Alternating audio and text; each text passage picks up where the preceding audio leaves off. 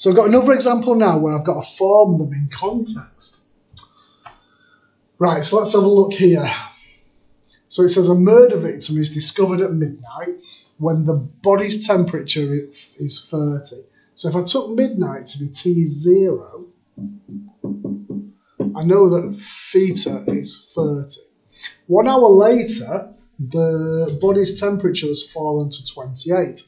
So I know when T is 1, theta is now 28. Uh, the room temperature has remained at 22. At the time of death, the body's temperature was 37. Um, as the investigating forensic scientist, you are asked to estimate the time of death.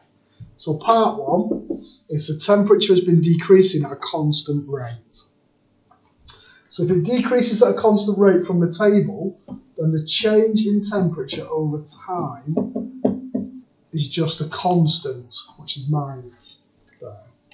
Now, now this one, I'm going to actually do the solving for it. So I'm going to split it up using my separation of variables.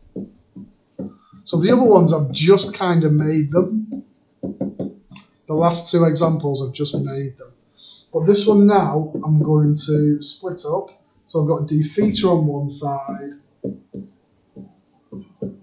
dt on the other. So that becomes theta is minus kt plus c.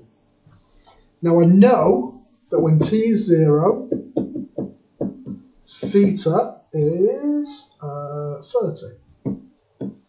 So 30 is minus k lots of nothing plus c. So c is 30.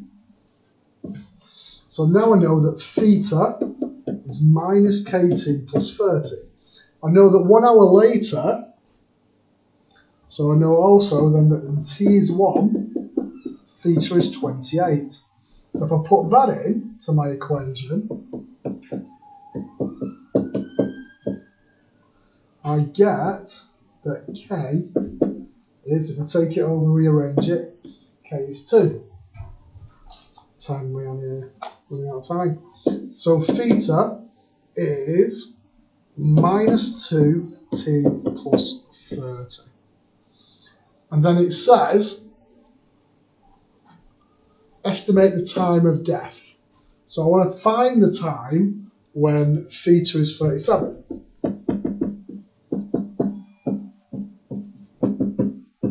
When theta is 37. So 37 is minus 2t plus 30. 2t is 3. T is 1.5. Is that right? Uh, where have I got 3 from? That's me just rushing that, isn't it? It's going, mm, hang on. Absolute rubbish. Where did that come from? So 2t is minus 7.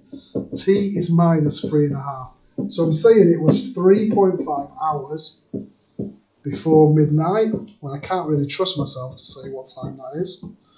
So I'm looking at 20, 30, half eight at night.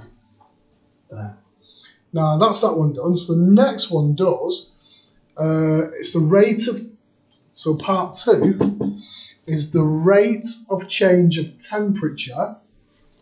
So my d theta dt is proportional to the difference between the object and the room temperature there. So d theta dt is minus k theta minus 22. I'm running out of time. I'm just going to sub in the t is 0 and the t is 30 and I'll show you. Actually, this is going to take more than that. I've gone to another thing. I'm going to split it up quickly. So I want theta on one side and minus KDT, but the time's running out. I've got a log, so I've got a log of theta minus 22 is minus kt plus c. Now I'm going to use the t is 0, I'm just going to pause it, t is 0 theta. That gives me log 8 is c. I'll write that down, but I'm going to stop it and start another vid. Sorry. I'm now going to do the t is 1, t is and theta is 28. But it's going to run out of time, so I'm going to stop and start again.